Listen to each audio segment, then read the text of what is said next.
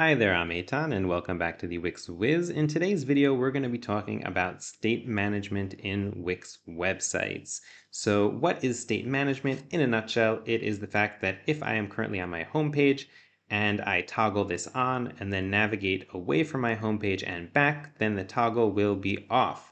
But if I have state management in my site, then on this new page, if I toggle it on, go back to home and go back to new page, then my toggle will stay on. So if you want to learn more about state management, what it is, and how to do it on your Wix website, let's get started.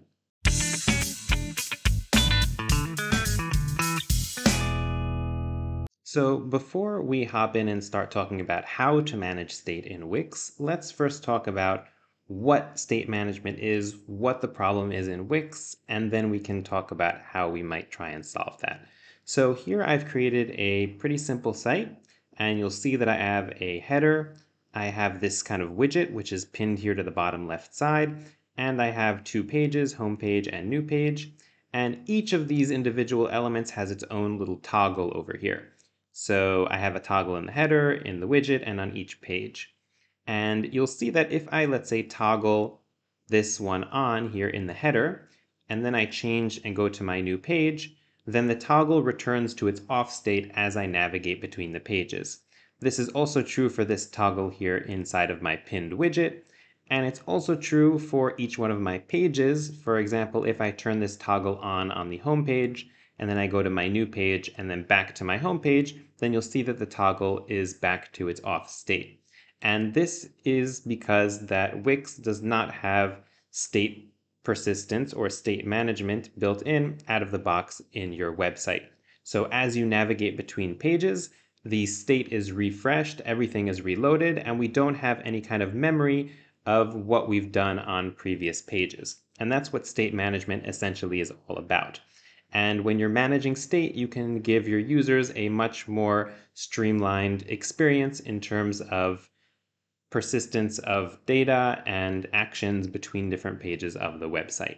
So the goal that we're going for here essentially is to have the ability to, for example, toggle this on and then navigate to another page and have this state of this toggle being on being stored somewhere in order for us to retrieve that information and then set it to be on even as I navigate between the pages and even as I go to different pages and return the application will have its state stored as long as I don't completely shut down the website or my web browser. So now that we have a decent understanding of what state is and what we're trying to achieve, let's talk about what our options are to do this in Wix. So Wix is kind of a tough cookie because we don't have a lot of control over how our code files are built and run. Uh, one thing that we do have access to is something called storage. So if we go here to the Wix documentation, you'll see that we have a package called Wix Storage Frontend, and this allows us to store data without persisting it to a database and retrieve it at three different levels. Okay, so we have the local data. Okay, so this is stored essentially on the person's um, computer and it will persist even if the person decides to close the site and open it again in a different new browser. We have session data, okay, which is stored as long as the person doesn't close the browser. And we have memory, which is available as long as the person doesn't refresh the page. And using one or all of these, we could store some information about our state and retrieve it as the person navigates between different pages on the site. So all of these would suffice for that purpose. It really depends on how much you want to actually manage your state. So do you want the state to be managed even if somebody completely leaves the site or returns, or if somebody even just refreshes the page, should that reset the state of the application? That's one thing that will dictate which of these three you use. Another one is their storage capability. So local and session storage can only store up to 50 uh, kilobytes of data. So just to give you an idea of what we're talking about, I have here a kilobytes to word converter. So one kilobyte would be 500 words. So that means 10 would be 5,000 words, which might seem like a lot, but if you are persisting large amounts of data between the different state, if you're persisting large amounts of data in your state between pages, then you could eventually, you know, supersede this 500 uh, word limit. Uh, and if you're using, let's say, one megabyte, that's already a lot more words, okay? Uh, or a lot more characters that you can store in terms of data uh, persisting between sessions, but this is a limitation that is worth knowing about. So no matter, even if you choose the option to store in memory, you might eventually hit some caps depending on how complex the states you're trying to store are. But I think that for most applications, if you're keeping your data quite concise and you're using kind of smart data structures in terms of storing state, then you shouldn't really approach those limits. So let's demonstrate now how this would look in the application that we built. So I'm going to go back to my site and the first thing that I want to do is to build a kind of package that will manage the storage and retrieval of state between different pages. So in order to do that, I've created this state.js file, and this is a public file, uh, a JavaScript file on my website. And here I'm going to build several functions that will be used for managing the state. So the first function I'm going to build is a function that can get the current state of the application. So I'm going to need to export this function because we're going to be using it on other pages of our site. And I'm going to call this function get state. And essentially what this is going to do is it's going to retrieve the state JSON that we're going to store in memory. And in order to retrieve that, we're going to need to import memory, memory from Wix storage front end. And in order to get the state, I can essentially say const state equals to memory dot get item. And we're going to say that we stored this item as state. And when this comes back, it's going to be in the form of JSON. Okay, so it's all going to be one long string, and we need to change that into an object so that we can actually interact with it on our pages. So what I'm going to return from this function is I'm going to say JSON dot parse, and we're going to parse the state. Okay, so we're going to be returning a parsed JSON, which is essentially an object, because that's how we're going to be storing our state. Then we're going to have a, another function, and this is going to be store, or sorry, set state. And what this is going to do is it's going to first get the state. So I'm going to say const state equals to get state. And then it's going to set a certain value of this state. So it's going to say state. And here we're going to have two parameters. We're going to have a key and we're going to have a value. And we're going to set the key parameter of this state as the value. Okay, so we're letting people store things as basically key value pairs inside of our state. And then we just have to store this state. So what I'm going to do over here is say memory dot set item state, and we're going to be storing JSON dot stringify state. Okay, and then from this, I'm just going to return the state and that way the person will be able to know that their state, whatever they just currently stored in state was successfully stored. So let's see how these uh, would work on another page of our site.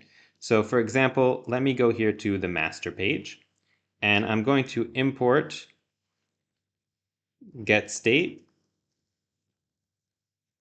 and set state from public slash state. And what I'm going to do is, first thing, I'm going to get the state as soon as the page loads. So I'm going to say const state equals to get state.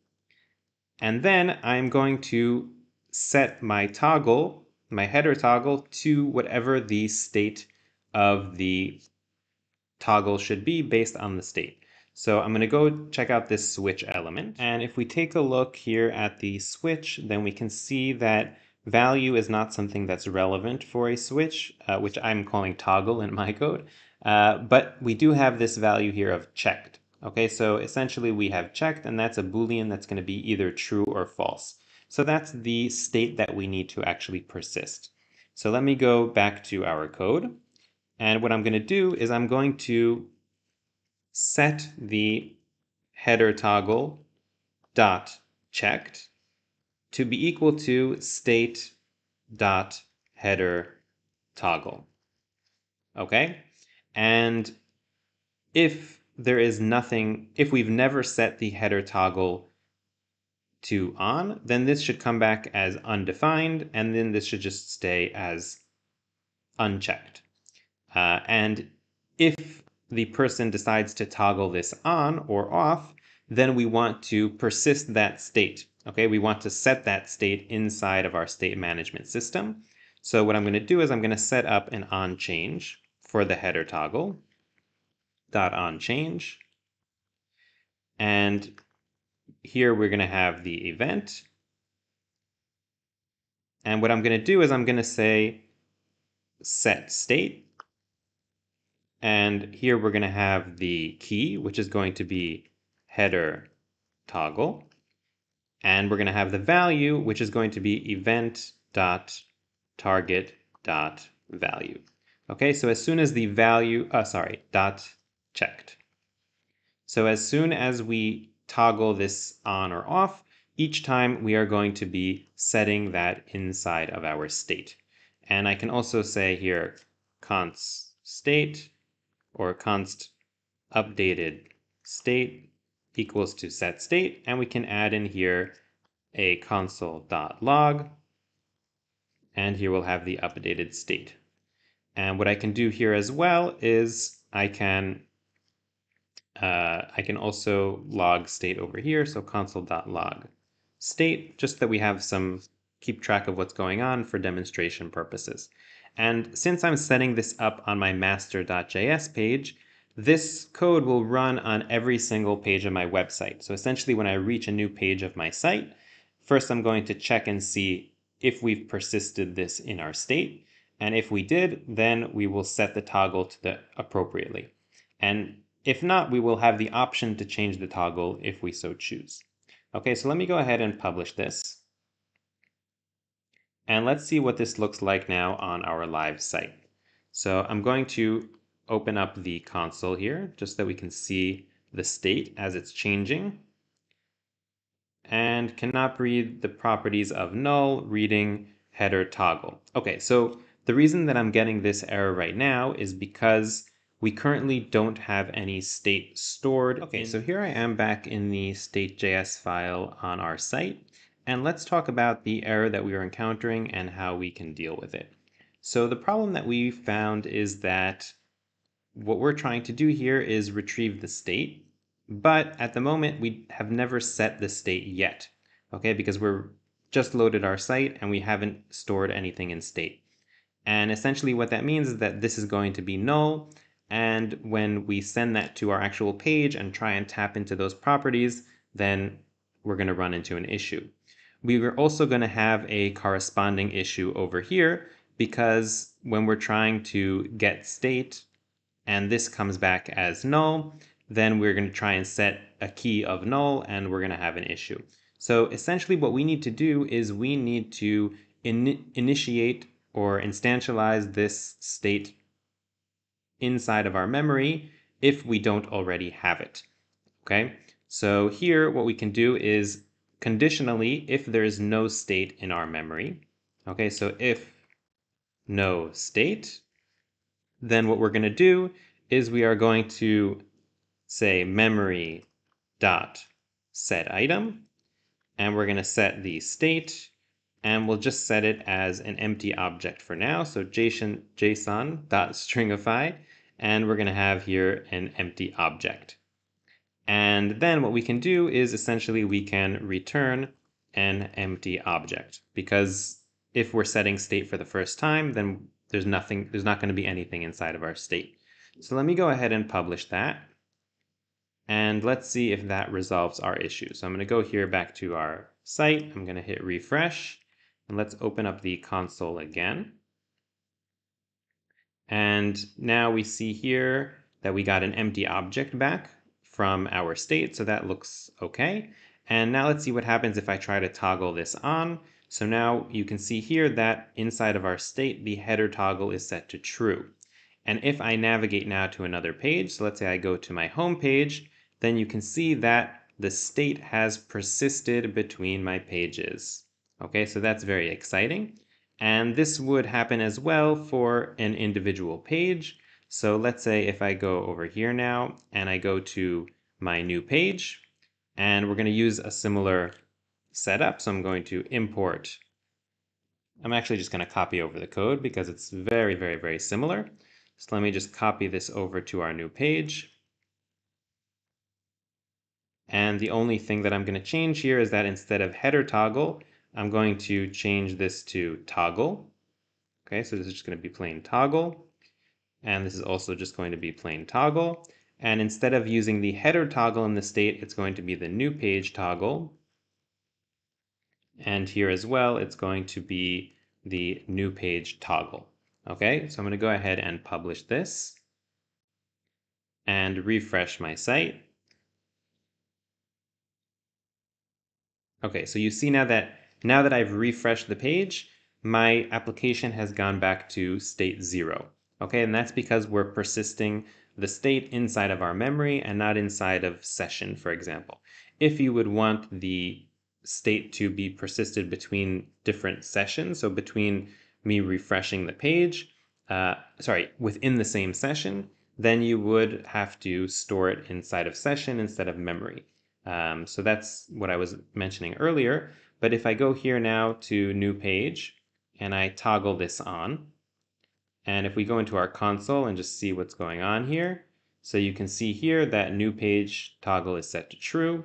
And now I'm going to go back to my home page and I'm going to go back to my new page and you can see that we've persisted the toggle on state between the different pages. Okay, so that is currently the best solution that I've found for managing state inside of a Wix website. I'm super curious to hear if you've struggled with this before and if maybe you've found another appropriate solution or a better solution than I have. Uh, so please do comment about that uh, inside of the comments below. And if you like this video, go ahead and give it a like. And if you want to see more Wix, Velo, JavaScript code related uh, videos every week, then you can go ahead and subscribe to the channel, and I will see you next time.